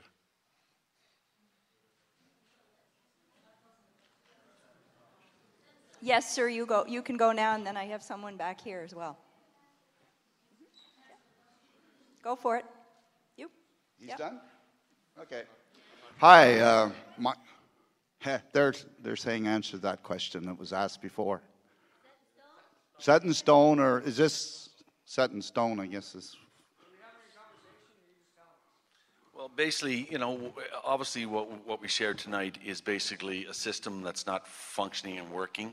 So we've got two options really. We either continue with the status quo, which we know is not working, there's high levels of frustrations, or we look at new ways to try to uh, sustain what we have and protect what we have. So those are my options as the minister here in the province. And, you know, I could sit and say, well, we're not doing anything. Uh, we're going to continue to try to recruit doctors and try to get them into the emergency room. Uh, they're just going to say they're not going to work in the emergency rooms overnight. And then we're looking to be forced at closures. So we get two options. We can look at uh, um, maintaining the status quo and do nothing, or we can, we can embrace uh, new opportunities and try to continue to use our facilities to their full potential. So that's really what, uh, what this is about tonight, using our assets and protecting what we have to make sure that we have a system that's functioning and working for all patients across Prince Edward Island. Um, hi, my name is uh, Rod McNeil. I'm from Tyne Valley, and I'm co-chair of the uh, Friends of the Stewart Memorial Hospital. Soon to have to have a name change to a manor. Um, I didn't want to take up much time here tonight because this is this is Alberton's and the, this part of to ask their specific questions. We have a lot of very very major concerns about this overall plan, especially when our facility is being completely tur- turned into a manor. And I would note that at no place on your presentation did you use that word from Tyne Valley Hospital or Community Health Center or Stewart Memorial Health Center to Manor. I think you understand that that's a pretty big move. I also would caution that we've worked along as, in a group for 10 years.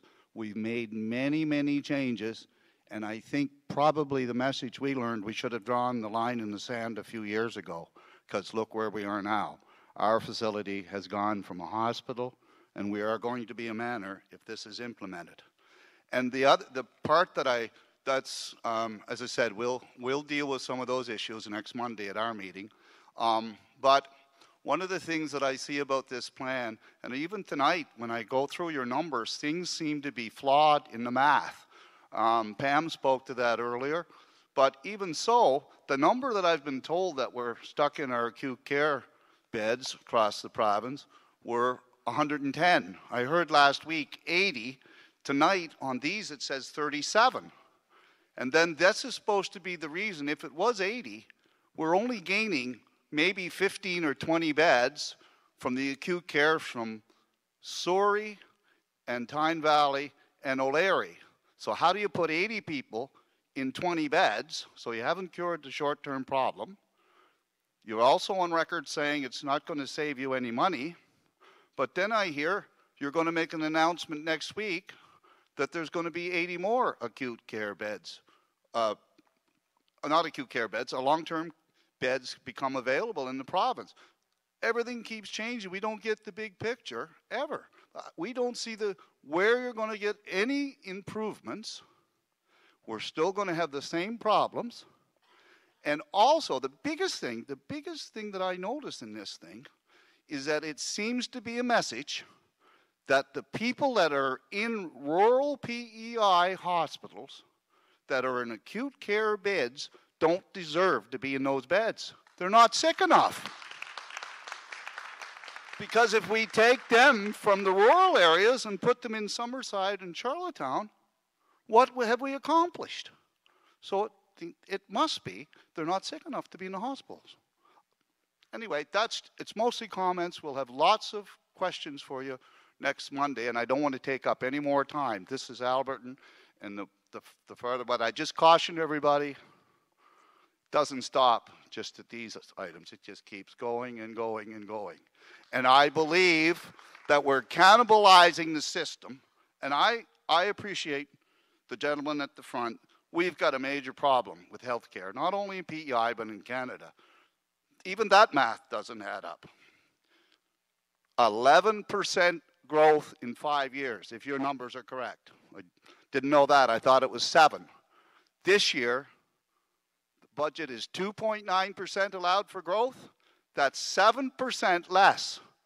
Boy, there's going to be a lot of cannibalization on the bottom end. And I just don't know. I don't have the answers either, uh, Mr. Minister, but I don't think this is make, getting you any headway. No. Thank you. Thanks, Rod. We, we certainly, you and I had this discussion. I uh, just want to clarify. We're talking average growth in the healthcare system for the last seven, eight years at about five and a half, six percent per year, not 11 percent. So that's uh, 570 million this year. Yeah. You mentioned earlier tonight, five years ago, 350 million. 360. Okay. Do the math.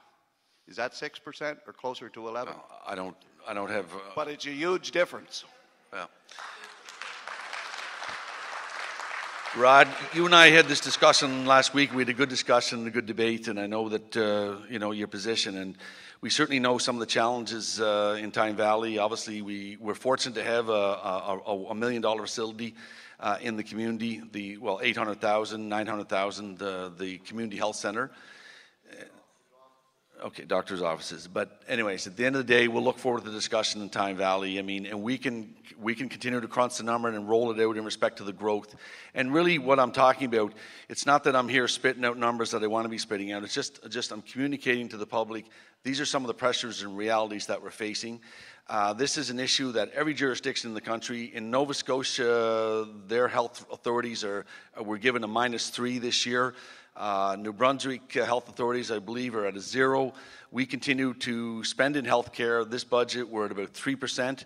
Last year, we were at 4.1% increase in spending. I think we come in at around 5%, which was probably the fourth largest healthcare spend in the country. So, just some of the pressures and some of the realities. And if money wasn't an issue and wasn't a problem, we wouldn't have to be sitting here and changing or evolving anything here in the province. You're a very successful businessman, Rod, and I respect you and you know numbers and you know how to run operations. So thank you very much.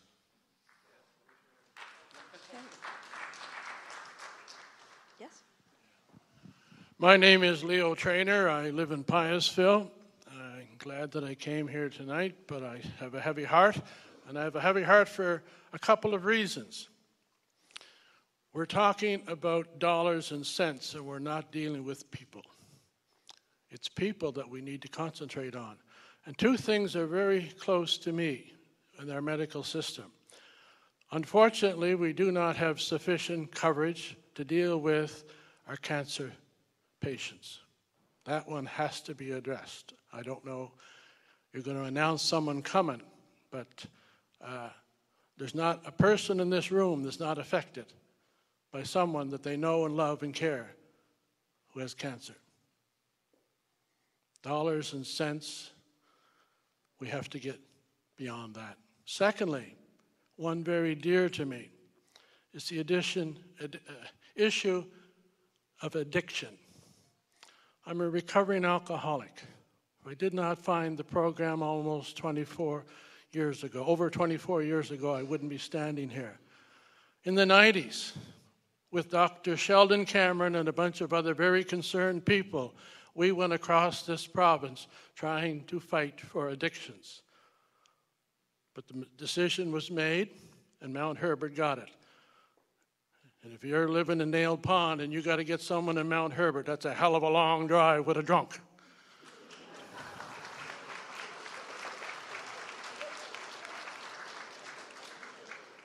The other thing that concerns me is the addiction issue on the island, in West Prince, and all that that affects.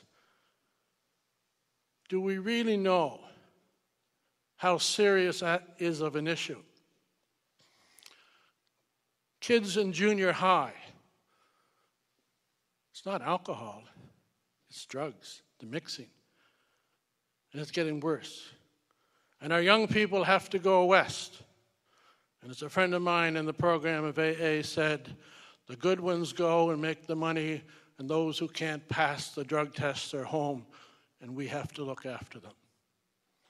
They're diseases, they're not bad people. An addiction is an addiction, it's a disease. We're talking about the old people. I've told my wife I will be in the Margaret Ellis rooms probably in a couple of years. That's just my health issues. I can't change that. But I'm really concerned for my stepchildren, young girls. What are they going to have? I've been well served at this hospital, in O'Leary Hospital, and in every hospital in this island. But, as the minister has said, we are in very serious trouble. This is not to be a political issue. This is to be human rights, dignity for every person, child, adult, family people. Serious. I wish you well. You got your hands tied. First place, clean out the Shaw building.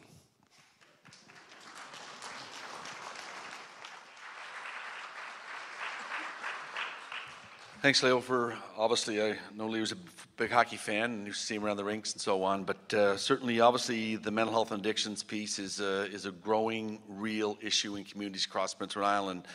We embarked, as I indicated earlier, to a question around uh, our response to the mental health and addictions review. And uh, mental health and addictions here in the province, uh, the acute system tends to get all the focus and attention uh, because it's it's where we spend. But he also acknowledged the oncology unit at the Cancer Treatment Centre. We have islanders every day coming in there. Uh, that one keeps me up at night uh, to try to recruit two oncologists here in the province Prince. It's a very specialized area but uh, we're, we're, continuing to move towards that.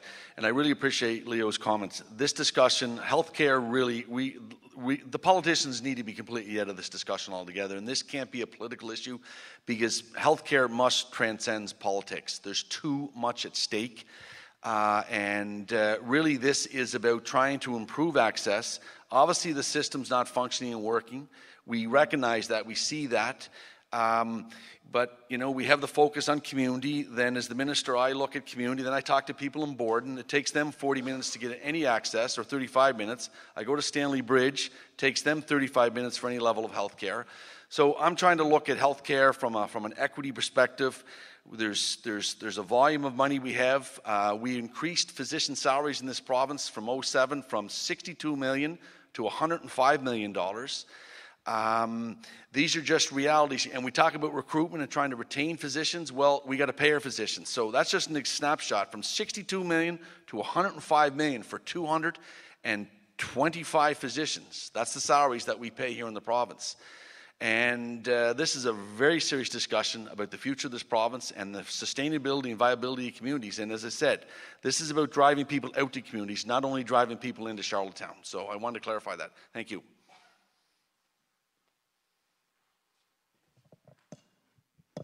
Hi, I'm Marlene Bulger. I'm retired administrator at Western Hospital. Um, first of all, I'd like to say I do commend you on the 811 system. I think that's been a long time coming and very much needed. And the transfer vehicle, that will take some of the uh, pressure off the ambulance system. The rapid response unit sounds good, but I understand there's only going to be two in the province, and the one for the west will be between Hunter River and North Cape. And rapid unless it's going to spread wings, I don't know how much value it's going to be for somebody who's having a heart attack or having a major car accident in West Prince. Because, you know, it takes an hour and 30, about an hour and three quarters to get from Hunter River to North Cape. And I would hope by then at least there'd be an ambulance in place. Uh, the rapid response isn't going to be much good. If you can tell me it's going to be in West Prince, then maybe there will be some value to that unit. But if it's for all of that area, I don't see what value it will be. Um, I mainly want to ask, though, about the CE centers and the staffing. Um, I've heard from both of you, gentlemen, and also in the media, uh, a wide range of staffing for the CECs, everything from two RNs um, to a nurse practitioner and a paramedic, advanced practice paramedic. And if people don't know what the scope of practice for those different individuals are, it'd be worth looking into it. There's a huge difference in what a nurse can do. And nurses are wonderful, they have wonderful skills, but their scope of practice is very limited when it comes to emergency on their own. They can't diagnose, they can't prescribe medication, they can't order tests, they can't admit. Um, paramedic 3, or advanced practice paramedic, can do a lot of procedures. You, um, somebody asked about the thrombolytics. Um, a nurse practitioner, there's a lot of things that they can do that an RN, it's not within their scope of practice. They may have the skill, but it's not within the scope of practice. So there's going to be a huge difference for if I'm, I'm coming to the emergency department at 10 o'clock at night um, in a heart attack or whatever it might be. Uh, the care that I'm going to get is going to be widely uh, impacted by um, the person that's going to be meeting me at the door.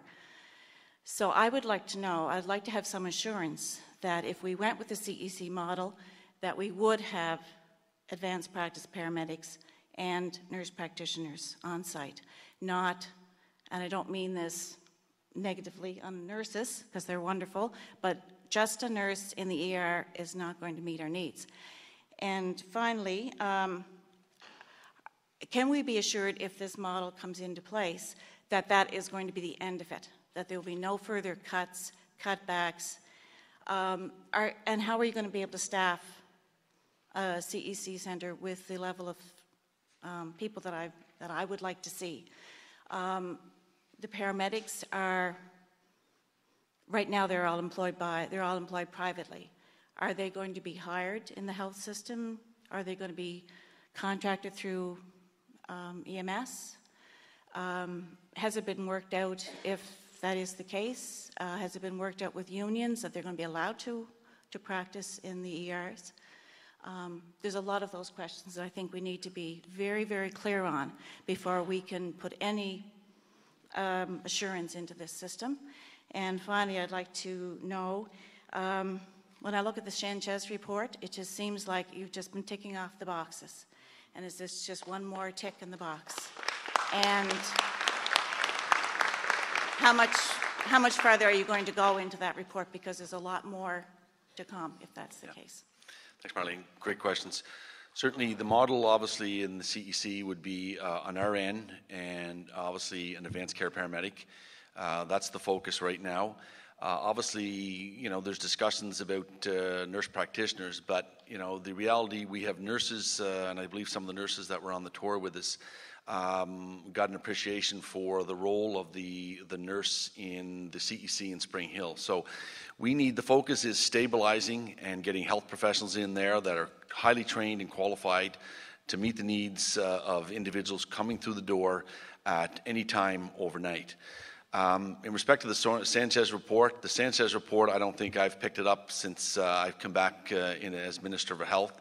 That was uh, a report that was given to government. Uh, we basically, it was a, uh, parts of that were a maiden PEI. Uh, there's there's recommendations in that report that government is certainly not going to touch or has no interest in touching. And yeah, I hope this will be the last public meeting I have to come to Alberton. Okay, so I'll be frank about that.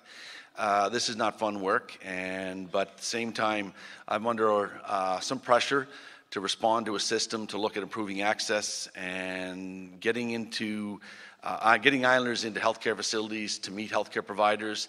It is a little territorial at times because you get into discussions with unions around nurses, uh, LPNs. Um, I know that when we came in in 07, we expanded the scope of LPNs in the, in the system. Uh, they embraced it. Uh, other health professionals weren't real happy about that.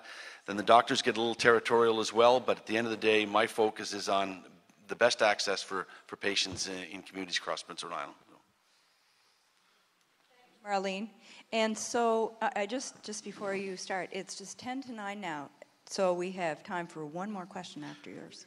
And I just want to point out as well, the, the rapid response unit is going to be based in West Prince, somewhere north of Portage. There, there's no rapid, it's not from Hunter River to West Prince, it's Portage to Tignish. So it's going to be deployed based on uh, where the ambulances are being deployed at the time, maybe in the Alberton areas, maybe in the Tignish area, maybe in the uh, O'Leary area. So it's, it's not, uh, it, it is belonging to West Prince. My name is Maxine Barber. I'm I actually have a quick question uh, as well as a quick comment. Um, one, um, I have a quick question to ask. We've built beautiful new manors. However, we're heating, at least in Alberton, the old manor, which is costing quite a lot of money to heat. Why is this still occurring? Why are these buildings still being maintained and that our healthcare money being used to heat these buildings? Another point, I have returned to PEI from Ontario. I grew up here before. I returned uh, three and a half years ago. I have been on the registry for um, the healthcare registry for both West Prince, Summerside, and Charlottetown, and I still haven't received a family physician in three and a half years. And telehealth, we had in Ontario for 15 years. All it did was increase the volume in our ERs by 20 or 30 percent.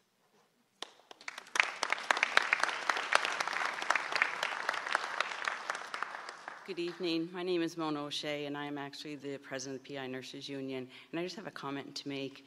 Um, one is that I'm not here to debate what services you can or cannot provide. It's not my role. Uh, the second uh, comment that I'd like to make is that I will not stand here and tell you what services or who will be the professionals in the ER departments. That will be in consultation uh, with the union and hopefully you, uh, Minister Currie and Dr. Wedge. So I um, ask for the opportunity to be consulted and join you in discussion about the roles of uh, what the RN will play in the emergency department because I do uh, have a lot of uh, registered nurses here in the crowd that are very fearful of what that's going to look like. So I open the opportunity and would like the opportunity to have the discussion with you. Thank you.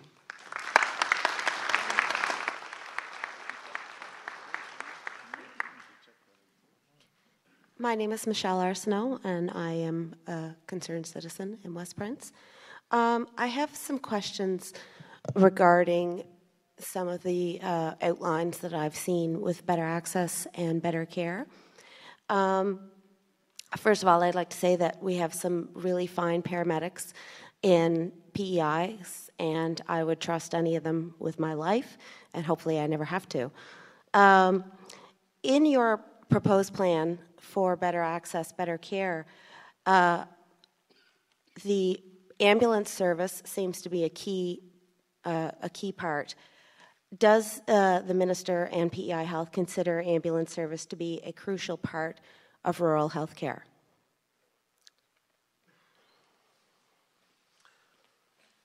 Um, I'd say yes. Um, obviously, the the role of the ground ambulance fleet here in the province was brought in, I believe, in 06 by the former administration. I see that as um, an investment into emergency response services with highly trained paramedics across the province that, uh, that uh, with the, the, technology and the vehicles and the training they have uh, can play um, um, a strong asset in uh, emergency responses. Okay. Um, my response to that is that uh, Tommy Douglas, the father of modern Medicare in Canada, said that the first phase of Medicare was to remove financial barriers between those giving the service and those receiving it. Currently, Islanders are charged a $150 fee for the use of an essential, uh, you admitted, an essential healthcare service.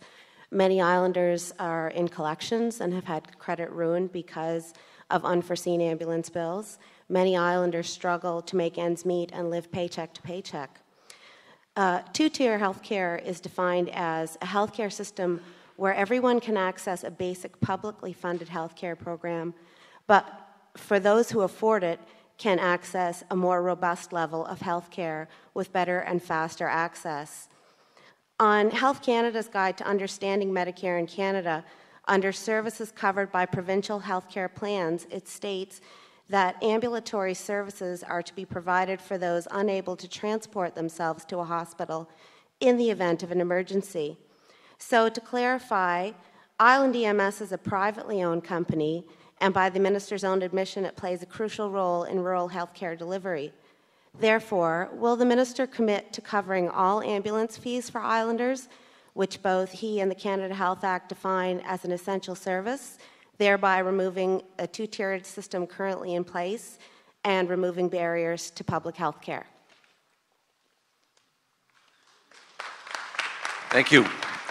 And uh, really, what, what tonight's about is protecting publicly funded health care. And uh, we must remember that uh, publicly funded health care was introduced by Tommy Douglas in the late 50s, and at that time was funded uh, by 50 cent dollars from the federal government. And in all fairness to the current federal government, because of former federal governments in the past, we are currently at around 19 cents on every dollar spent in health care because now it's a transfer payment from the federal government. They have basically disengaged on any conversation uh, on the 2014 Health Accord. Uh, so uh, that's where we're currently at. Um, I can't commit uh, to you tonight that uh, I believe that we've we've made some inroads in reducing the pressures on the cost of ground ambulance services to to islanders, particularly with our seniors, uh, and Edda province uh, transfers, particularly um, um, air airlift. Uh, flights and so on. So, but a good question. and if opposition is still here, they could probably copy that down and test me in the ledge on that one. So, thank you. Um, about five people ago, I said we'd take one more question. So I'm, I'm going to please ask you that. Excuse me, excuse me. And, and I'm just going to say so the people that are standing right now, maybe you'll be the last questions then, okay? Thank you. Uh, Minister Currie and Dr. Wedge. Uh, I'm Brenda Pitt and I work at the Western. I'm just going to say a short se- few sentences. Um, we do realize that there's many doctors uh, that are coming out of med school and want to do maybe family physician or, or surgeon or whatever.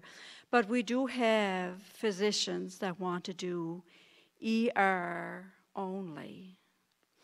Uh, we've heard different times that this new system, this new collaborative emergency care system, is not going to save the province any money. Why not pay our doc, the doctors that do want to do our ER on a 24 hour basis pay them equally to their neighboring doctors. I know we don't have the same amount of patients as what Prince County would have, but I also don't feel that they can handle everything from Tyne Valley up to North Cape.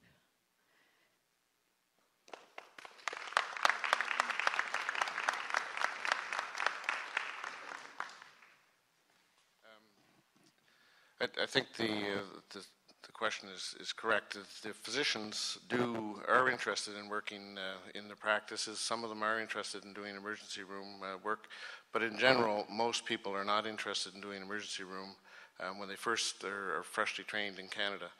There are some, in, in, fairness, who, who are interested in doing that.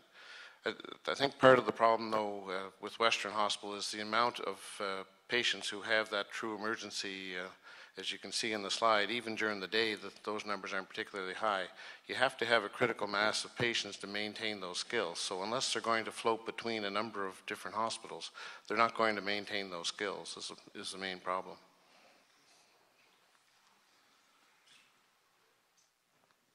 Hi, my name is Stephanie Goody, and as registered nurses of Western Hospital, um, Mr. Currie, I have a question for you. You said earlier this evening that you'll be working with Matt Crosman and Island EMS in collaboration. Are you willing to work with the frontline registered nurses who will be affected by the CEC model?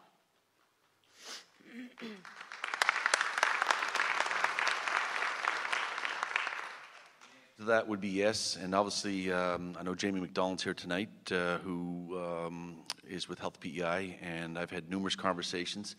Obviously, when we're introducing a model of delivery that's that's new, obviously we want to make sure that the the providers, particularly the nurses, the paramedics, uh, really clearly understand the model, um, and um, in consultations with the Cumberland uh, Health Authority, they're very much uh, very interested in looking at making sure that the transition and the implementation of the model is successful. Um, we didn't uh, want to focus on the CEC in another jurisdiction at this point in time. We wanted to solely focus on Western to make sure that we, we provide uh, um, obviously a process for implementation, and the key is to stabilize services uh, in the hospital and to make sure that obviously, uh, if it's going to be successful, nurses that are working there obviously will have to be engaged in there because there will be a, a, level of responsibility and a role. Obviously, with the CEC, there's a high level of engagement with uh, emergency room physicians, depending on the uh, the assessment or the level of acuity coming in. Uh, with um, the Queen Elizabeth Hospital or the um, uh, Prince County Hospital. So, answer is yes. Okay, thank you. Thank you for all your questions and all your comments.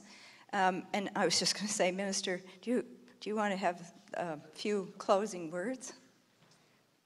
Well, I just want to, to wrap up by saying that, first of all, I, I appreciate everyone coming out, and I, I recognize that uh, when we look at uh, shifting uh, cultures and change, it's difficult. But uh, as the minister, um, you know, my role is sort of the overarching system uh, responsible for $570 million, and it's really about trying to stabilize and provide good access at the appropriate time in the appropriate situation by the appropriate provider. And whether you're looking for a hip in Charlottetown or you're being transferred to Souris uh, after your hip, uh, these are some of the realities that uh, our province will be engaging and facing as a result of some of the uh, the pressures that we're under. And um, these are not easy decisions. These are these are difficult decisions. Um, this is tough politics, but good public health policy for the future. And uh, if we're spending uh, money on healthcare, we want to make sure it's about the patient and we're getting the best value and outcomes we can for that individual, regardless if they're living in Borden, Alberton, Souris, Tignish, Charlottetown, or Summerside. So, thank you for coming out tonight and great questions. Thanks.